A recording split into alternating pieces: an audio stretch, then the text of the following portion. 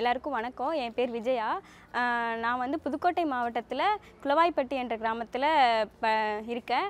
எங்கள் அப்பா எங்கள் அம்மாலாம் கூலி வேலைக்கு தான் போகிறாங்க எங்கள் அண்ணா வந்து தான் எங்களை படிக்க வைக்கிறாங்க. நான் டென்த்துலேருந்து அப்பா வேலைக்கு போகல அம்மா வேலைக்கு போகல அம்மா வந்து ஆடு மேய்க்கிற வேலை பார்க்குறாங்க அண்ணா வந்துட்டு தான் எங்களை படிக்க வைக்கிறாங்க. அண்ணா படிக்கலை.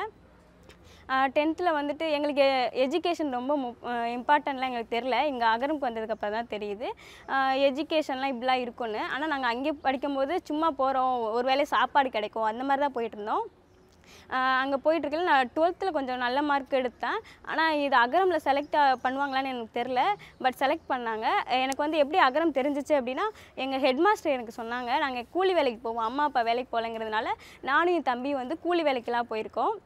கூலி வேலைக்கு போயிருக்கல ஹெட் மாஸ்டர் தினமும் கா எங்களை கூப்பிட்டு சொல்லுவாங்க நீங்கள் எதுக்கு ஸ்கூல் வரமாட்டேன்றீங்க? அப்படின்னு கேட்கும்போது நாங்கள் வேலைக்கு போகிறோம் மேம் சொன்னதுக்கப்புறம் அவங்க சொன்னாங்க என்னை நீ டுவெல்த்து முடிச்சதுக்கப்புறம் என்ன பண்ண போகிறேன்னு சொன்னாங்க. நான் டான்ஸ் ஆட போகிறேன் எனக்கு டான்ஸ்லாம் ரொம்ப பிடிக்கும். நான் எப்படியே டான்ஸில் போக போகிறேன் மேம் சொன்னதுக்கு அவங்க சொன்னாங்க படி விஜயா படிச்சதுக்கப்புறம் வேணால் நீ டான்ஸ் பண்ணுன்னு சொன்னாங்க. அப்புறம் எங்கள் ஹெட் மாஸ்டர் அப்ளை பண்ணாங்க அகரம்க்கு.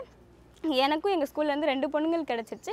அப்புறம் ஹெட் மாஸ்டர் சொன்னாங்க இந்த மாதிரி அகரம்லாம் இருக்குது அதுக்கு அப்ளை பண்ண அப்படின்னாங்க. அதுக்கப்புறம் எங்கே போய் படிக்கணும்னு கேட்டது சென்னை. சென்னையெலாம் எங்கள் வீட்டில் விட மாட்டாங்க மேம் சொன்னதுக்கப்புறம் வீட்டிலேருந்து அம்மா அப்பாவை கூட்டியாந்து பேசினாங்க. பேசினதுக்கப்புறம் சரி ஓகேன்னு சொல்லிட்டாங்க. ஆனால் அண்ணா கிட்டே சொல்கிற ரொம்ப கஷ்டப்பட்டு தான் சொன்னேன். ஆனால் ஒரு புரிய வச்சதுக்கப்புறம் அப்பா இறந்த அன்னைக்கு தான் எனக்கு அகரம் கிடச்சது. அதனாலே ரிலேட்டிவ்ஸ்லாம் என்ன சொன்னாங்க வேணாம் இவ்வளோ தூரம்லாம் ஒன்று ஒன்று ப பொட்டை பிள்ளைய படிக்க வேணாம்லாம் சொல்லியிருந்தாங்க.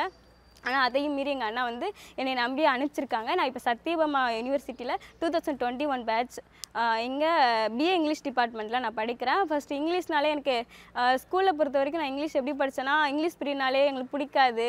சார் வந்தால் ஒரு மாதிரி பண் வேணாம் எங்களுக்கு இங்கிலீஷ்லாம் வேணாம்னு சொல்லியிருந்தோம் ஆனால் இப்போ பிஏ இங்கிலீஷில் நான் படிக்கும்போது அவங்க எல்லாருமே இங்கிலீஷ் தமிழில் யாருமே பேச மாட்டேன்றாங்க. ஃபஸ்ட் இயரில் அழுகவே செஞ்சுருக்கேன். என்னடா இது? நமக்கு இங்கிலீஷே வராது. நம்ம போயிடலாம்லாம் நினச்சிருக்கேன். ஆனால் எங்கள் அண்ணனுக்கு என்னென்னா நான் டீச்சர் ஆகணும்னு ஆசை எனக்கு வந்து டான்ஸர் ஆகணும்னு தான் ஆசை. சரி நான் வந்து அண்ணா ஆசை எப்படியாவது நிறைவேற்றணுங்கிறதுக்காக பி இங்கிலீஷ் டிபார்ட்மெண்ட் எடுத்தேன். இப்போ ஃபஸ்ட் இயரில் தான் எனக்கு கொஞ்சம் பயமாக இருந்துச்சு. ஆனால் செகண்ட் இயரில் அப்படி இல்லை. எங்கள் மேம் எல்லோரும் ஹெல்ப் பண்ணி உன்னால் முடியும் விஜயான்னு சொல்லி என்னை படிக்க வச்சுட்டு இருக்காங்க. கண்டிப்பாக நான் எங்கள் அண்ணனுக்கு பிடிச்ச மாதிரி டீஸ் டீச்சராகவும் ஆவேன். எனக்கு பிடிச்ச மாதிரி டான்ஸராகவும் ஆவேன்.